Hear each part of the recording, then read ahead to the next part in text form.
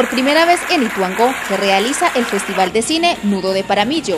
Gracias a EPM, la Gobernación de Antioquia y la Alcaldía de Ituango, semilleros de audiovisuales, actores, actrices y directores de Segovia, Amalfi y Urabá participaron con muestras producidas en sus municipios. Pues me parece un, un método muy bacano para que nosotros los jóvenes eh, estemos distraídos en algo. El cine es una de las herramientas más importantes para poder, para que nosotros podamos contar nuestras historias desde adentro.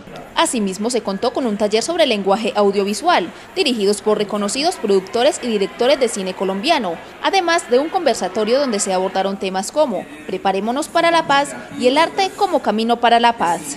Veo yo que es excelente porque los jóvenes están felices, eh, adquiriendo un lenguaje que es el cine, haciendo sus trabajos, actuando, eh, recogiendo historias. O sea, yo, yo lo que veo es un éxito maravilloso por su parte, Santiago Londoño, secretario de Gobierno departamental, quien también participó en el conversatorio, nos manifestó su alegría y emotividad ante la sensibilidad que genera este evento.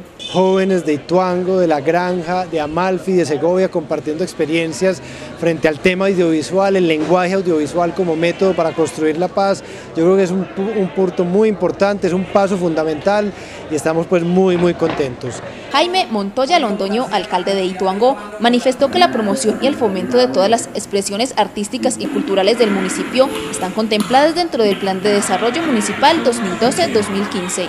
Claro, en el marco del Plan de Desarrollo eh, están abordados todos estos aspectos de promoción y fomento de la cultura, del arte, en todas sus manifestaciones, de tal manera que para nosotros es fundamental llevar a cabo esta primera muestra de cine Nudo el Paramillo.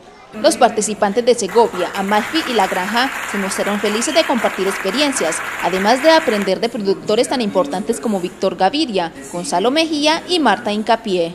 Eh, venimos a Ituango a motivar a los jóvenes eh, para que encuentren en el proyecto audiovisual unas posibilidades de futuro que realmente existen en este momento.